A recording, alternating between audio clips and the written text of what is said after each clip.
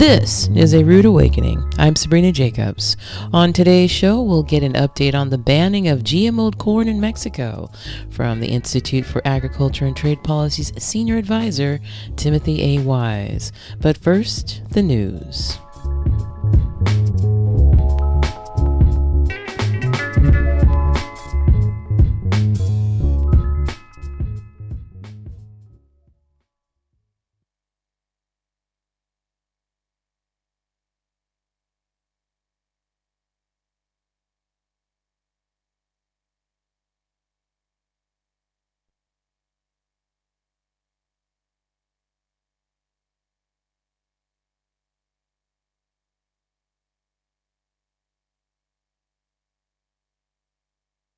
For Pacifica Radio, I'm Christina Onnested. Former President Donald Trump spent 20 minutes in a Fulton County jail Thursday where he was booked on 13 felonies, including racketeering charges for alleged attempts to subvert the will of Georgia voters and overturn Joe Biden's 2020 presidential win in the state.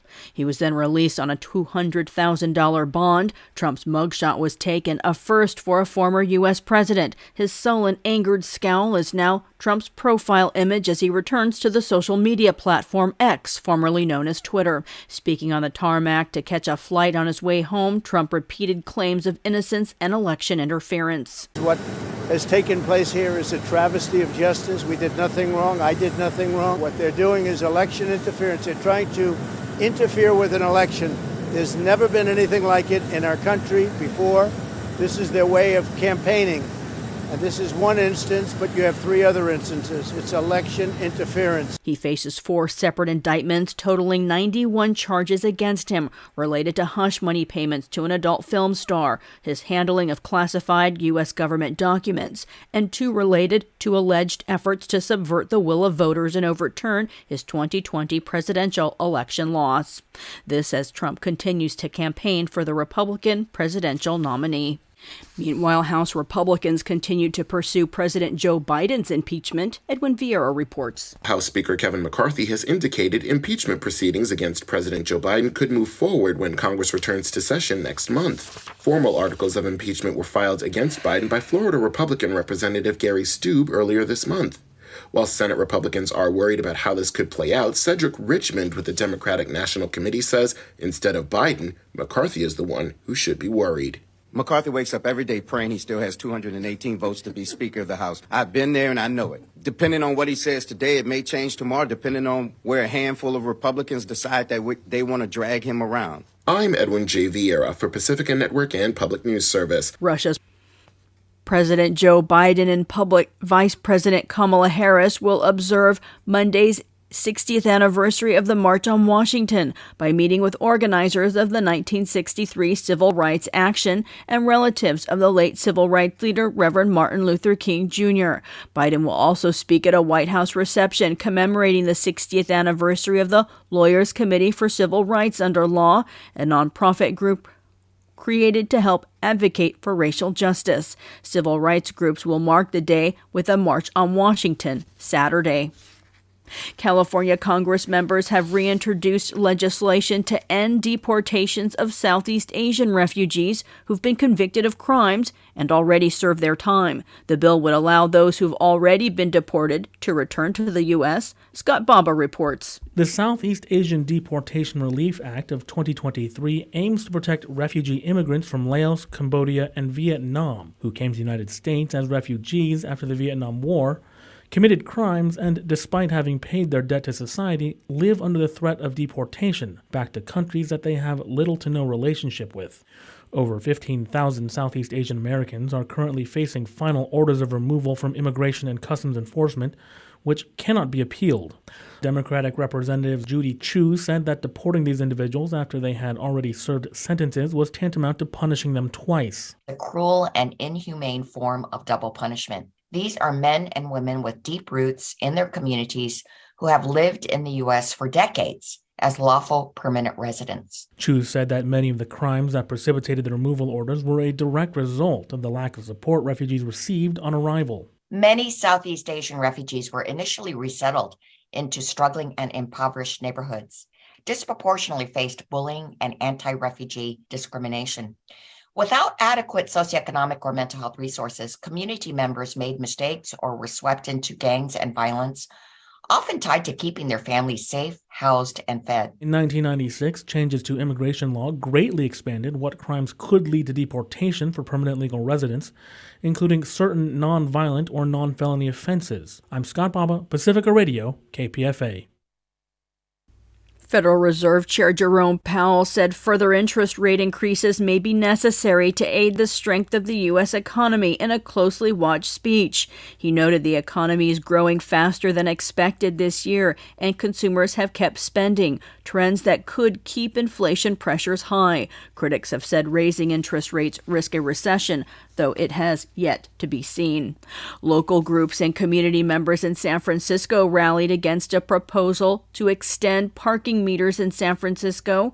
The plan would extend meters to three hours weeknights and add six hours on Sundays. Melanie Velasquez has more. The SFMTA says expanding parking meter hours across San Francisco could generate revenue to expand public transportation in the city and curb pollution from cars. Activists say the extension is an increased tax on the working class and does not help the fight against the climate crisis. Gloria La Riva is an activist from the Party for Socialism and Liberation. We've just been through more than three years of pandemic, and we're suffering the highest rents. We're suffering evictions. We're suffering food prices that are astronomical. We do not need the city throwing this on our backs. We say no to the extension of parking meter hours. SFMTA originally announced the changes in May, but halted their plan the same month after the San Francisco Board of Supervisors unanimously voted to delay the implementation of the new hours. The Board of Supervisors requested an economic study of the impact the extension could have on local businesses. The study is expected to be finished by September. A petition to cancel the extension is circulating online and around the city. For KPFA News, I'm Melanie Velasquez. Environmental groups seeking to force the closure of the Diablo Canyon nuclear power plant lost their court battle yesterday when a judge rejected the lawsuit. Friends of the Earth sued in state superior court in April, hoping to derail a proposal to extend the federal licenses for Diablo Canyon for at least five years. Efforts are also underway to extend that. Friends of the Earth was part of a 2016 agreement to close Diablo by 2025, but the legislature last year cleared the way for PG&E to extend its operations at least 5 more years after a push from Governor Gavin Newsom to help the state meet its emissions reductions targets. The group says it may appeal.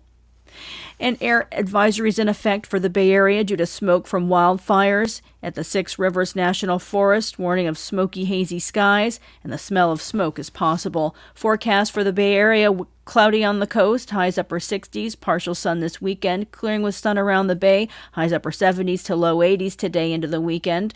In Fresno and the central San Joaquin Valley, sunny, highs mid 90s today, upper 90s this weekend. I'm Christina Onnested reporting for KPFA.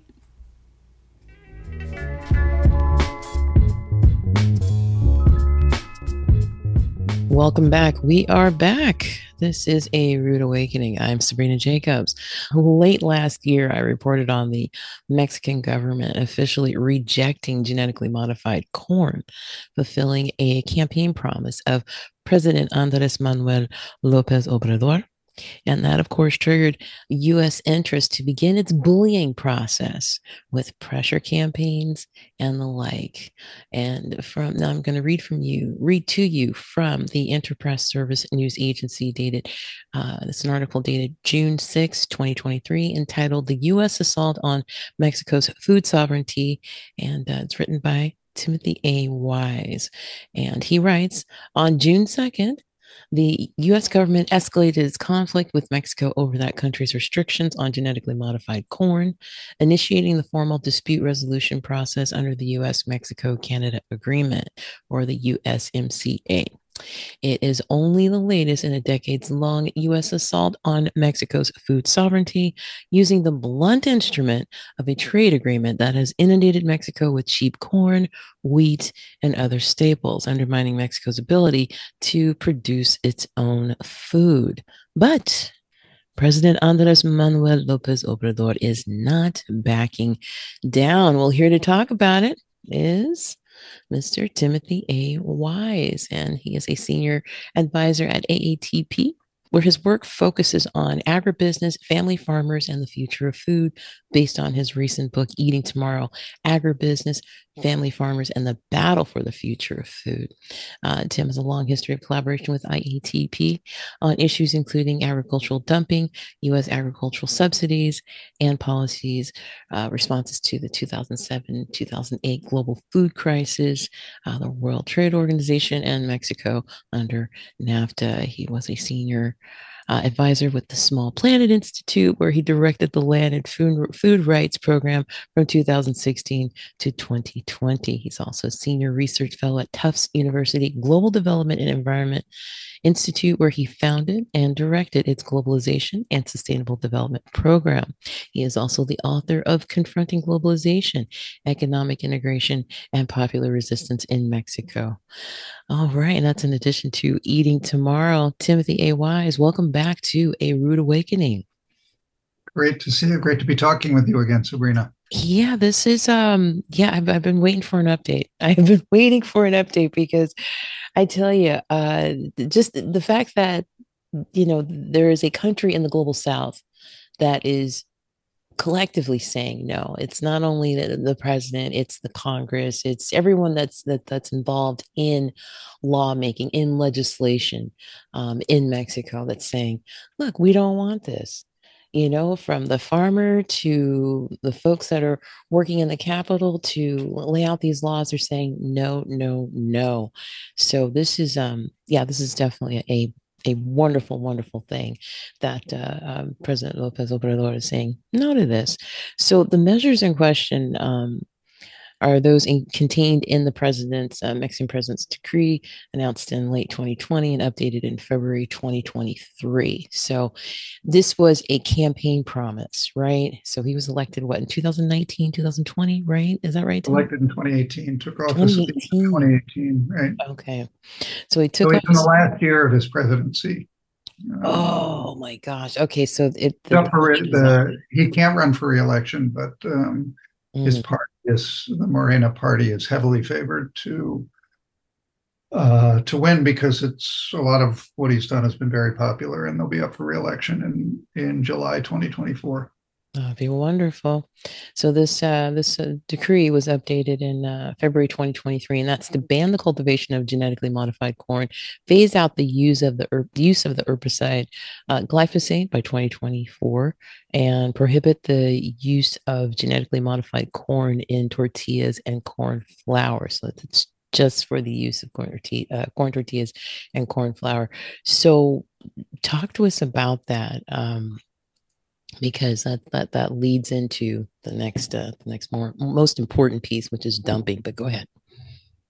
Yeah, I mean the the um, the action that that's prompting this uh, this news report um, is that yesterday, um, or, or yesterday on the on the first day, it was eligible to escalate its trade dispute over this these provisions the US took that opportunity to escalate the trade dispute. So, just the way these trade disputes work is that under the new NAFTA, the new North American Free Trade Agreement called the US Mexico Canada Agreement, USMCA, um, there's formal dispute resolution processes. And the US has been taking us through those steps that the step in June was to uh, notify Mexico that it wanted formal consultations before taking a step to a formal arbitration panel. And the action was to call for that arbitration panel. So that means that it now goes that they haven't resolved anything on the side with negotiations because the US basically refused to negotiate. And um, and it now goes to an arbitration panel where the there's a process for naming arbitrators. Countries will present their their different cases. It will take a while. It, they're now saying that it probably won't be resolved until sometime in 2024. So it's not like like this uh, this puts any immediate punctuation point on this on this conflict. Um, but what's significant about about that 2023 presidential decree is that it already showed a lot of flexibility on the part of the Mexican government because the first decree threatened to ban the importation of genetically modified corn and um, and altogether. And this decree is much more moderate, um, which is, makes it a little surprising that the that the U.S. government is taking such a hard line on it. Um, it only bans the use, not the importation, the use of genetically modified corn in the very narrow, large but narrow confines of the production of tortillas and the corn flour on which from which tortillas are made. Um, so it's for it's a it's a ban on the use, not importation, of genetically modified corn for direct what they call direct human consumption of minimally processed corn um, in tortillas. What that that means that it doesn't affect 96 to 97 percent of U.S. corn exports. U.S. exports primarily yellow corn for industrial uses and animal feed. And this is touching a very small segment of white corn exports that are genetically modified for uh, the production of tortillas. So it's a very narrow, small um, segment of what the US exports. And that's the only restriction at this point um, on, on GM corn. It is phasing out the use of glyphosate, and they are proceeding actively with that by by this time next year, they expect to have completely stopped the use of glyphosate in Mexico, which is remarkable. Um, glyphosate is the active ingredient in Roundup herbicides from Monsanto and other companies, and and it has been shown to cause cancer. So it's a it's a bold step, and they're carrying through on it. They've already dramatically limited the amount of glyphosate in, that's coming into the country. That is wonderful to hear. That is absolutely wonderful to hear. So, uh, let's talk about this the the the dumping, um, because from the the the report that's called "Swimming Against the Tide," swimming against the tide, Mexico's quest for food sovereignty in the face of U.S. agricultural dumping and that came out on May 15th 2023 and let's let's talk about that because this is preventing Mexico from being able to produce you know produce its own food to be self-sufficient um, which is beyond ridiculous. I mean, but you know, they're getting all of this this half price or or, or uh, you know four or five cents on the dollar type uh, of food and and goods from the United States, and it's like, well, well, they're of course they're going to go ahead and take that as opposed to trying to create it themselves, grow it themselves, etc. So, talk to us about uh, this particular report on dumping. Yeah, it, it updates a report I did. Um, I guess it was 15 years ago now. Um, mm-hmm. uh, looking at sort of what what uh, cheap export agricultural exports from the United States had done to Mexican production, and it won't be surprising to people that what it had done by 2010, when we 2008, I guess, when we produced when we uh, published that report, is that below cost exports from the United States, that is corn that's produced at below what it costs to produce it, um, because we overproduce corn in part thanks to subsidies, in part thanks to a whole range of other agricultural policies. Um, the price is below the cost of production, and subsidies help keep some some producers in the U.S. solvent, but we export it at below production costs, which is one definition of agricultural dumping under international law. Um, it's more commonly seen as dumping if if you're selling if you're exporting at a price below what you're selling it for at home right then you're obviously trying to undercut other producers cutting your price to sell sell it overseas and win yourself market share um, this is uh, called, better known as equal opportunity dumping. We underpay our, our producers and then we export those underpaid, um, undervalued crops to places like Mexico, which undercuts their producers. And that's what this was um, mm. was updating um, because we've just been through another period um, between 2014 and 2020 where U.S. prices, uh, where international prices were below what they what corn and a bunch of other crops cost to produce. So Mexico was getting a continued surge increases in U.S. exports and continued um, uh, pressure on its producers to stop producing what they were uh, what they want to produce, and that's important because the whole GM corn controversy is really part of his policies. Lopez Obrador's policies are part of a larger effort to stimulate food self-sufficiency and greater food production in Mexico and the production of healthier food in Mexico and the consumption of healthier food in Mexico. So the ban on the consumption of the use of GM corn in uh, tortillas is is a public health measure um, on Lopez Obrador's part. Goes right alongside his the very strict food labeling regimen that he put in place, which now labels um, foods in, with very clear labels in supermarkets and elsewhere if they're high in fat, sugar, or um, or calories. Um, very dramatic and over the objection of the food industry. That said, all of that is intent is about trying to uh, re-stimulate the rural rural production in Mexico, and you can't do that if you're getting undercut by cheap exports from the United States. And so we documented that. Indeed, that's continued to happen. It has significantly undermined Mexico's Lopez Obrador's efforts in the last five years to uh, to stimulate domestic production. Hard to stimulate if the prices aren't aren't uh, aren't telling producers that it's worth producing more, um, and and calling for a shift in those in in those uh, in those policies and those practices on the part of the U.S. Is that a part of his decree?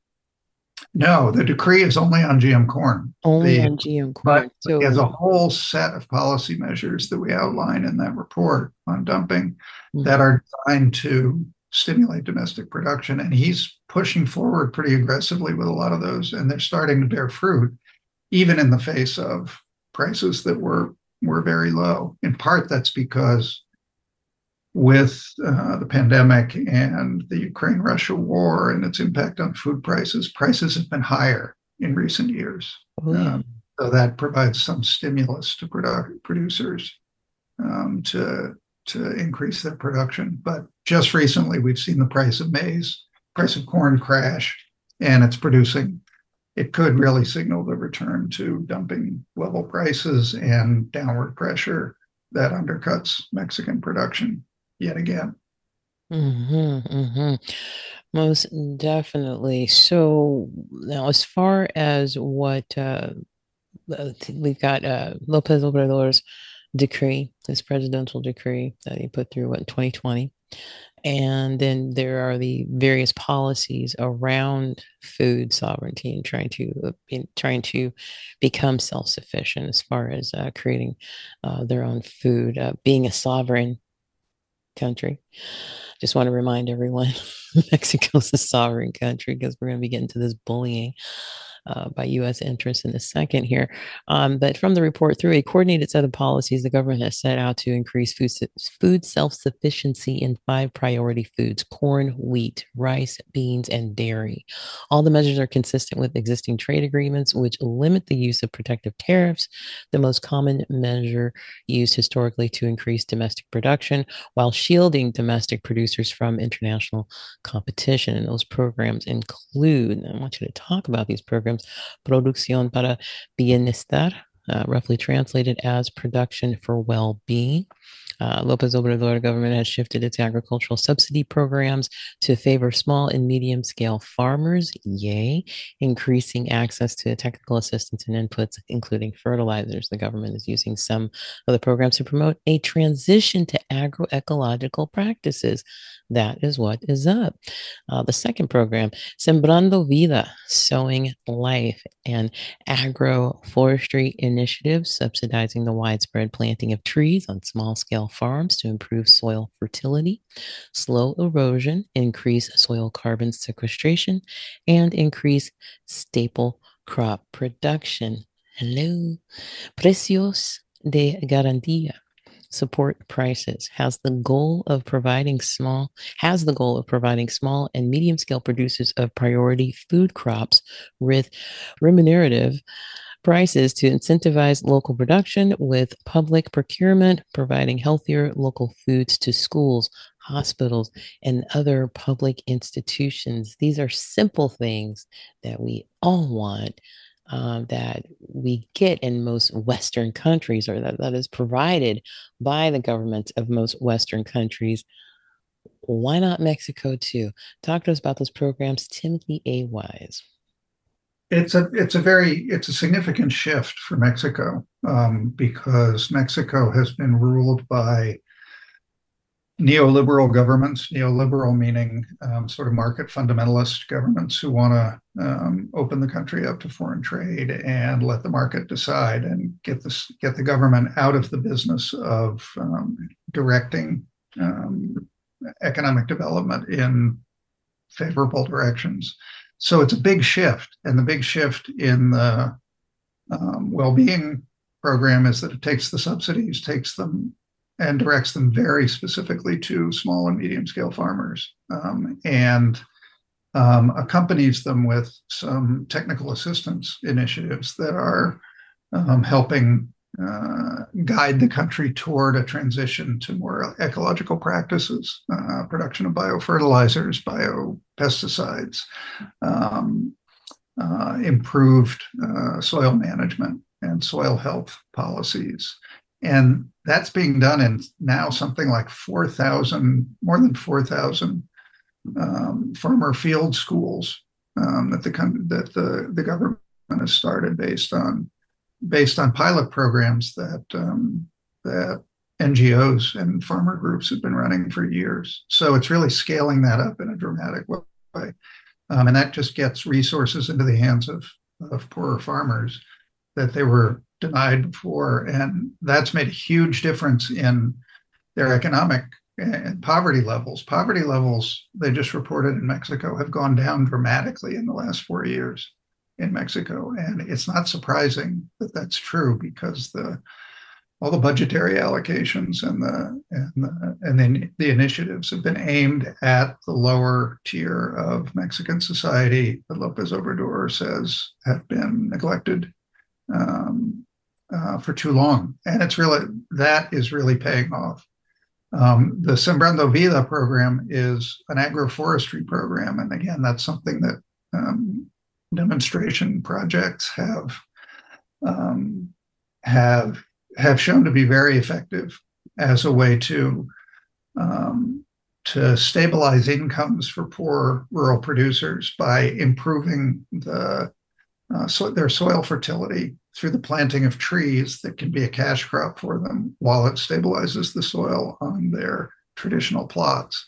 Um, again, massive expansion of that program under Lopez Obrador. Um, millions of trees have been planted in that in that program, and um, we're waiting for an evaluation of those first two programs to see just what impact it's had on production. But the um, the assumption is that for small scale producers, it should really make a difference in improving their soil fertility and their ability to uh, produce food. Um, and and the last one, the Precios de Garantía, is is a very um, commonly used support price program. India uses it. A lot of countries, the US has used it in the past before we went to a straight subsidy regime. It basically says, um, says at least small and medium scale producers should get a guaranteed price for their crops that is above the cost of production because they won't invest if they don't know they're going to get that price. And so it directs public resources to purchase um, those basic crops. Uh, started out as five basic crops, but now it's now it's expanded somewhat. Um, uh, sets a guaranteed price for them, and um, and the government offers to buy them if the market is not uh, is not paying that price and buying them, and that both puts a lot more money into small farmers' hands with a decent price, it gives them the assurance that they can get that price, so they're willing to invest in their land. And again, we're waiting for uh, evaluations to come through about what impact that's had on the uh, uh, on farmers' decisions to expand their production of basic staple crops. That last one it has some really interesting ramifications right now for maize in Mexico because of the possible return to dumping level prices that we're seeing right now, which is coming right at harvest time in the corn producing state of Sinaloa. So there's a very the support price program is the one program that goes straight at dumping because it's saying we're not going to let imports undercut producer prices. We're going to make sure producers get a good price, um, and that's that's a game changer. I, I, I want to make the connection between folks that are, uh, you know, that are leaving Mexico, and they are finding themselves wrapped up in this migrant crisis because they are not able to make a living in their homes, the various states in Mexico. So they're coming here to do it. They're looking for work, any type of work, so that they're able to sustain themselves. And we this this US foreign policy of allowing these multinational corporations to run amok and try to control uh, the sovereignty and bully uh, the Mexican government in this particular case. And they do it all over the world. They do it all the time. But, you know, that speaks to why there is a migrant crisis. It's because of US foreign policy, it's because of situations like this. But this is one of those rare moments where the leaders of this country are saying, hey, no, we're not doing this. We're not going to allow you to do this to us. And just want to make that connection. And um, it, it's just it's it's it's a very very frustrating, very very frustrating story to keep covering because you know once you make those you, you can't know you can't unknow what you know right Tim, it's like you really can't and once those connections are made it's like oh okay wait a minute you know what is really going on here? Like well why are these people so you know why are they able to to behave this way? Let's talk about the bullying tactics by these um, corporate interests to keep mexico underfoot. Let's talk about that because uh that gets to the heart of things. Go ahead. Yeah. I mean the um uh, no the migration crisis is you know what everyone has said is that ultimately to deal with the migration crisis you have to create personal security, which is sort of freedom from crime and, and repression. Sure. You need, you need to create um, political security that is that that democracy is in place and reliable, and um, they're not going to be uh, retaliations against opponents, um, as we see in a lot of Central American countries. Right. Uh, and as we're facing right now uh, with big elections coming up in Guatemala and Ecuador. Um, but the um, but also economic security, and the economic security is considered one of the most neglected because it's sort of everybody recognizes that you'd have to take away the root causes of economic insecurity by reestablishing sustainable livelihoods that is decent a decent living for particularly rural um, people in Mexico and other and other countries that are sending migrants. Um, they haven't had those opportunities. NAFTA itself um, put a lot of pressure on the countryside. The disinvestment by neoliberal governments in the countryside um, created uh, a significant outflow from uh, rural communities, not just to the U.S. but to other parts of Mexico, working as migrant laborers in tomato harvest and avocado harvest and and in uh, construction and and um, and maquiladoras along the border.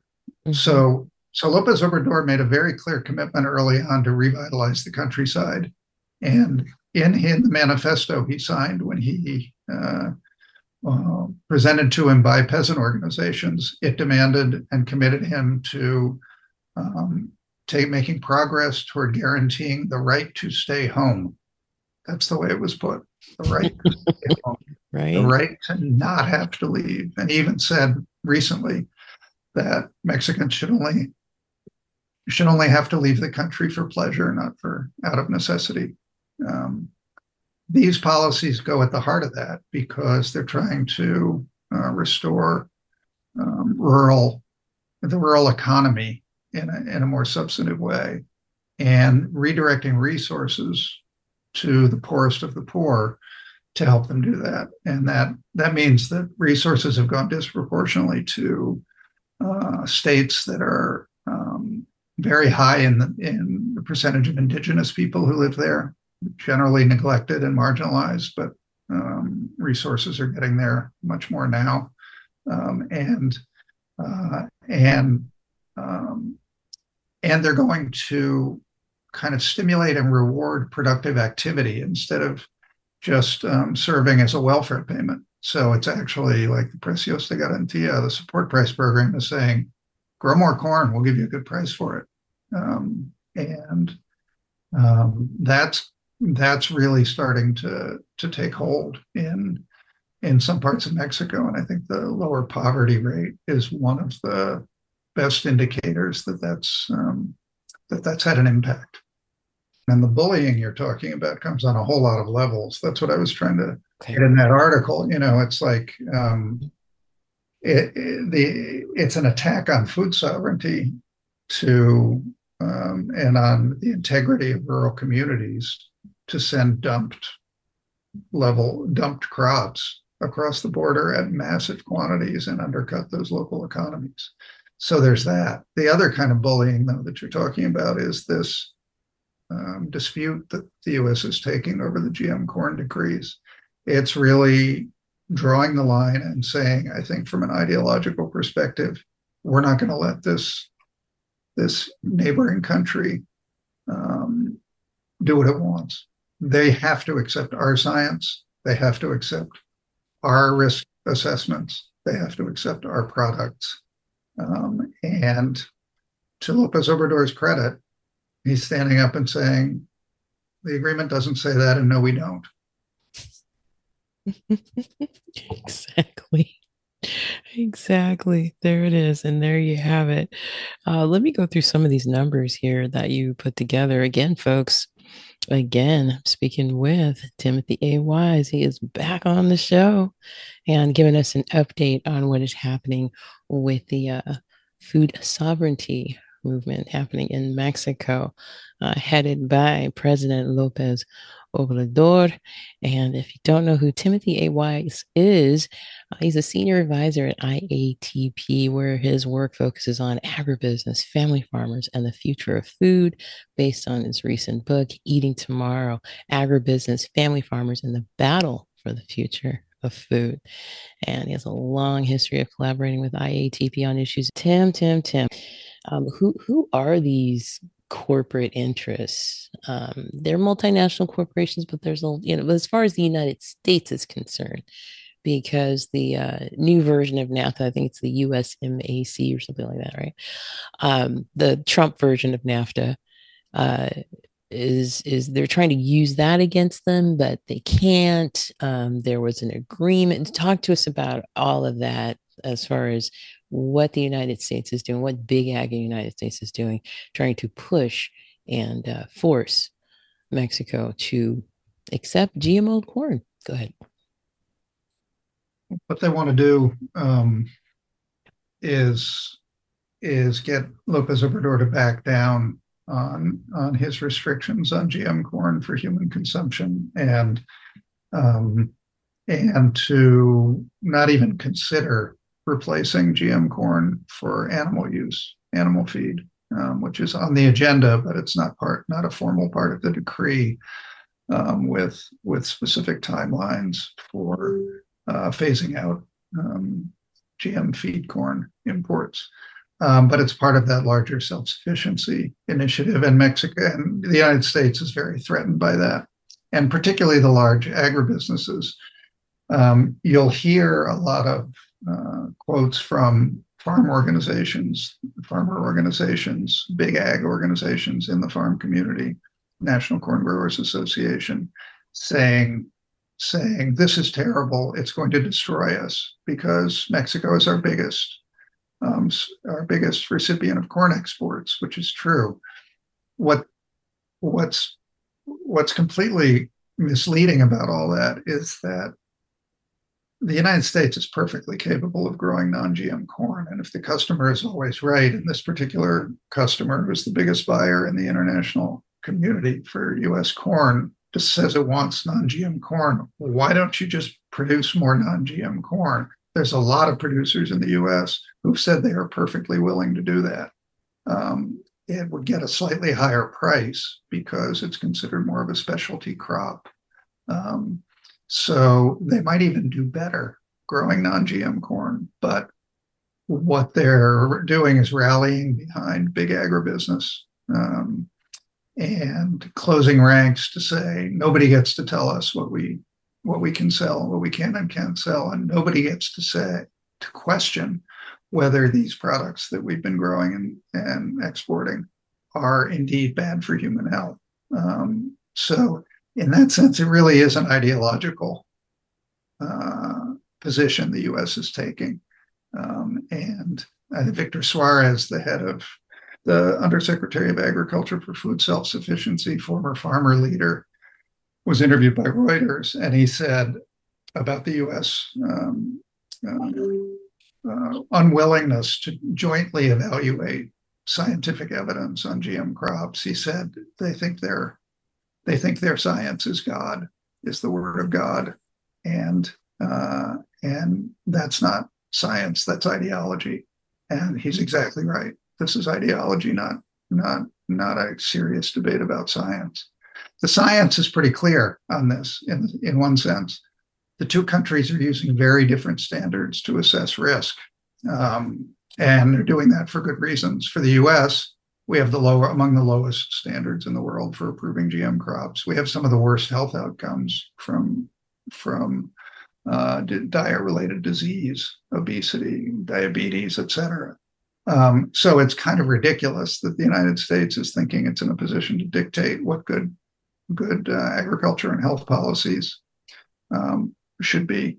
But Mexico, but we don't eat a lot of GM corn directly because it's almost all for animal feed. So we eat it indirectly in a lot of the things that we eat, but we don't eat it directly. Mexico, with its tortilla maize culture, eats more minimally processed corn than any other country in the world per capita. And minimally processed corn, if it's GM corn, means you are directly consuming the transgenic corn that that's being produced. It's not being uh, watered down in the processing uh, of the corn. They have reason to set a higher standard of precaution, uh, a higher risk assessment because of that, um, uh, the nature of their consumption of corn. And that's why the restriction is only on, right now, only on uh, corn for tortillas and corn flour, uh, minimally processed corn for human consumption.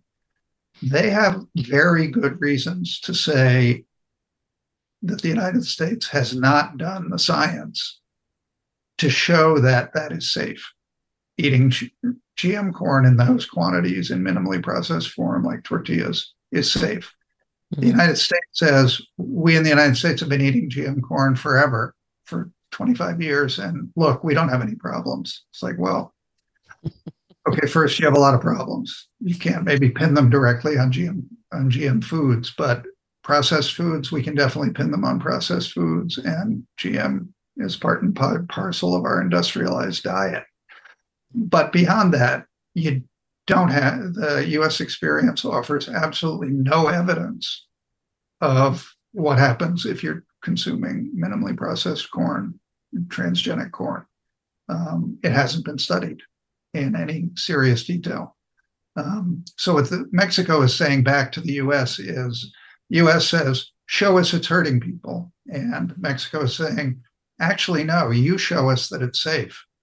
So two different standards of uh, scientific proof, and I think that's what will play out in this dispute um, and when it goes to an arbitration panel. and it'll be it's it'll be a challenge for Mexico to win that. I think they have a good argument to make, um, but uh, the arbitrators tend to be very pro free trade. Um, tend to be economists, not public health uh, people, not agronomists, and uh, and it'll be interesting to see how they how it plays out. Most definitely, it will. It will be interesting, and um, yeah, this is uh this is ridiculous. Um, President Lopez Obrador, he's uh, prioritizing. This is from the report U.S. dumping cost Mexican corn and wheat producers nearly $6 billion in lost value for their crops, with U.S. exports of corn and wheat entering Mexico at dumping margins of 10% and 20%, respectively, from 2014 to 2020. Domestic producer prices were lowered by comparable percentages. Collectively, Mexican corn farmers lost $3.8 billion in value for their crop, while wheat farmers lost $2.1 billion. That is ridiculous. That is a ridiculous amount of money. I mean, my God, that is that is insane. That is an insane amount of money um, and that's that's just two crops. That's not even that's not all five crops. You know that I just mentioned. Not all five of the aforementioned crops are just corn. Corn, all five of them: corn, wheat, beans, rice, and dairy. Wow, Tim Wise, what say you? well, I mean, uh, the the um, you know what that is is that's that's what Lopez Obrador is talking about when he talks about the neglect and devaluation of the countryside. That is quite literally devaluing the countryside, taking the value out of what um, what Mexican farmers are are producing, um, and uh, paying them too little for for what they grow um, because of competition from U.S. crops and that forcing down prices. Um, it's very interesting what they're doing now, though, and the Lopez Obrador is doing now. Um, it's actually one of the things I'm more excited about in terms of the uh, the innovations and the innovative use of these new programs. With his support price program, he's Sinaloa State um, grows about 20% of Mexico's total, total corn. They do it on irrigated farms in what's called the uh, in the current season, um, not the rain fed season, but the irrigated season. And it all comes to harvest in May, June, July. Um, it's just been harvested now. Um, and the price crashed because the Black Sea grain deal opened up again. The um, uh, anyway, a whole set of market conditions outside of Mexico um, lowered the price of corn by about 20% some at some points it was 30% below what what it had been. It had been at very high levels. Um, producers, including some of the largest producers in Mexico, panicked because they were over leveraged. They'd invested, assuming they could get a big price, and they couldn't. And what Lopez Obrador went in and said was, "We have a program that's here to support for smaller and medium scale farmers, not rich farmers. We're not going to bail you guys out, but we're going to do you a favor. We're going to buy up a huge volume of the corn produced by the small and medium farmers at a support price that is very generous and above the cost of production. And we're going to take that corn and take it off the market and the market shortage that that creates will force up force the companies that are buying this corn to pay a higher price. So you big farmers go demand a higher price from the companies don't demand subsidies from the government. And that's been the struggle that's been going on for the last couple months is still going on.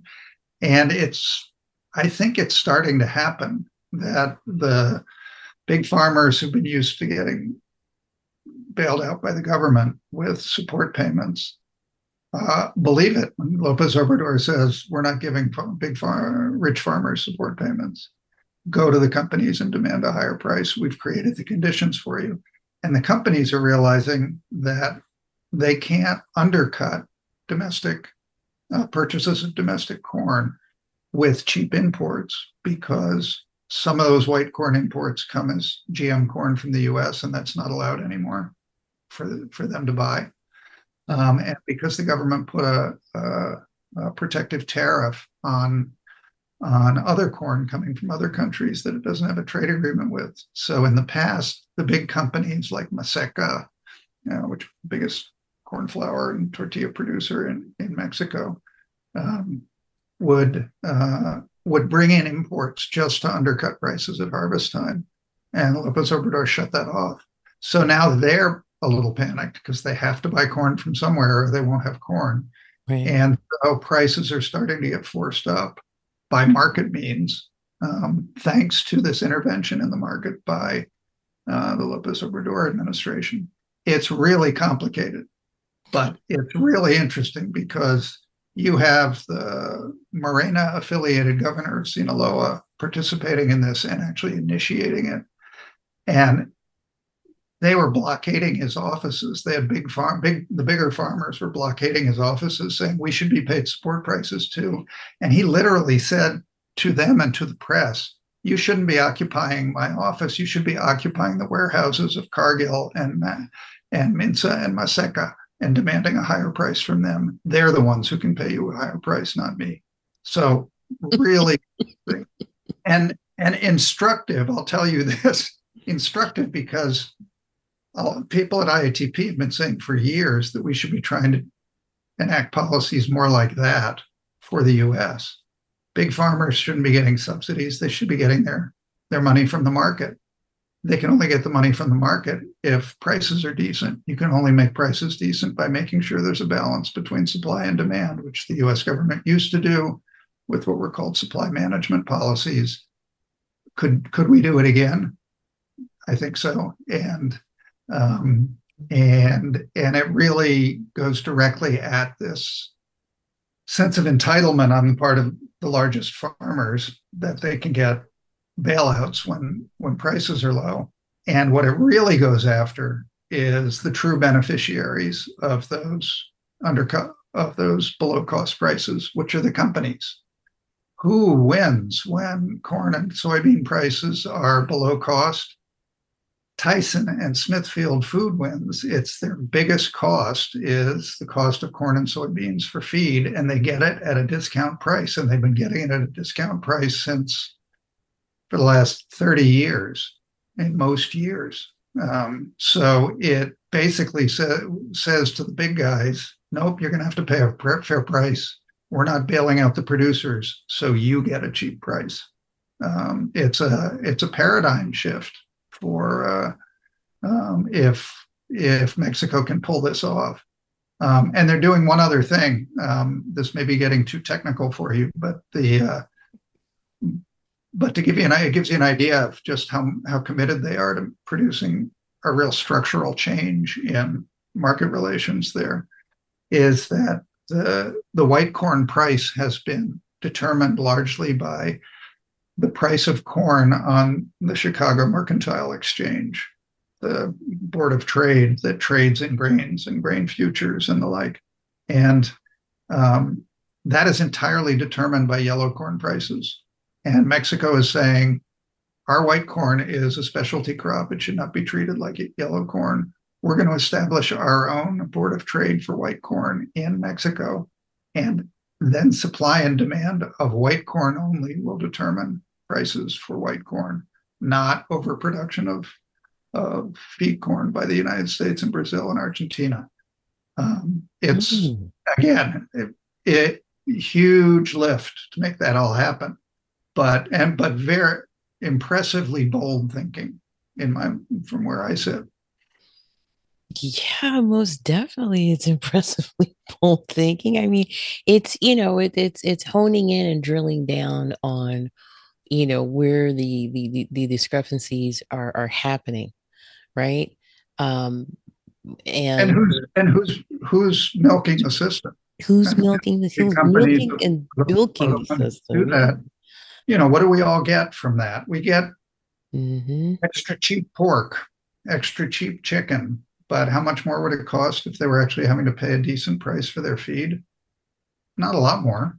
Um, and wouldn't we all be better off if if some of the more of that money was flowing into rural areas.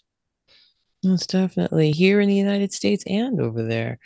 Wow, that well, that I think it's ingenious. I think it's absolutely ingenious. I mean, you know, to in order to level the playing field, just level the playing field, not necessarily win the fight, but level the playing field.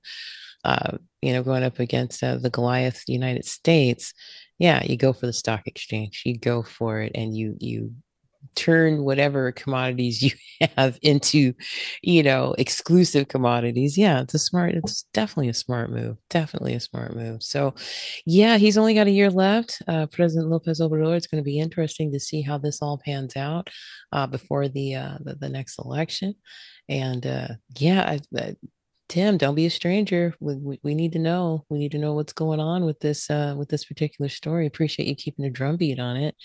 Absolutely, and and I do think the um, the widespread expectation is that the Morena Party will again win the presidency next year. Um, with not clear who the candidate will be, but um, that the party will win. It's had a an absolute majority in in both houses of Congress. I don't know whether that will continue, um, but it could because the party's complicated and and but it ha- it has a its its approval ratings are off the charts still for four and a half years into a, a six year term. So, um, so the expectation is that they're going to get another six years to bring these policies to fruition, and there's a lot of hope that that this first period has laid the groundwork for some real progress in the in the following six years.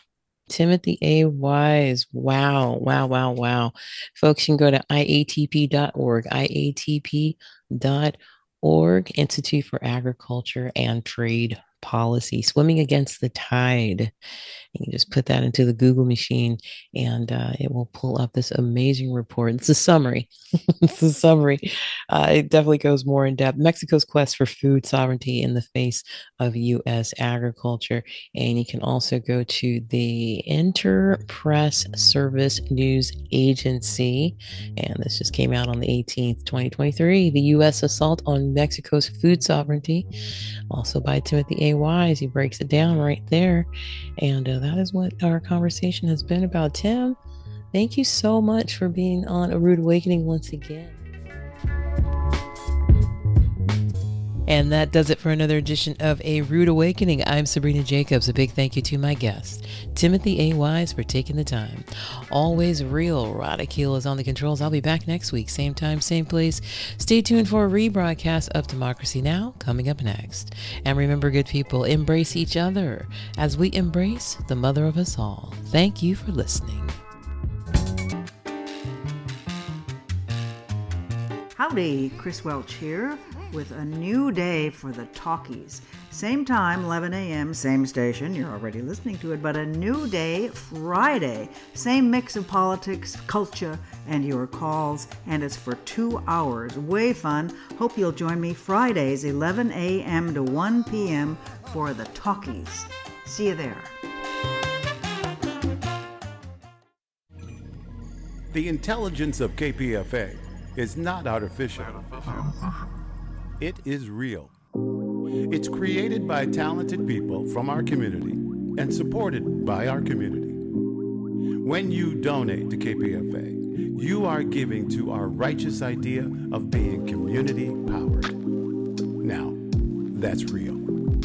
That's why we are here, as vigilant as always. Howard Zinn.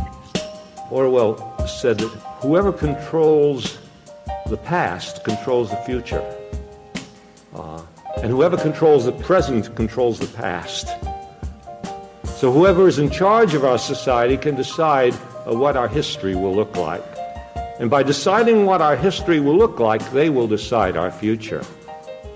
Well, that made history very important to me because it, it meant that history was not disengaged from society, that, that to create a more democratic history meant that, that you were at least playing some part in uh, trying to create uh, a more democratic society. Storytelling for social change on KPFA. You're listening to 94.1 KPFA, 89.3 KPFB in Berkeley, 88.1 KFCF in Fresno, and online worldwide at kpfa.org.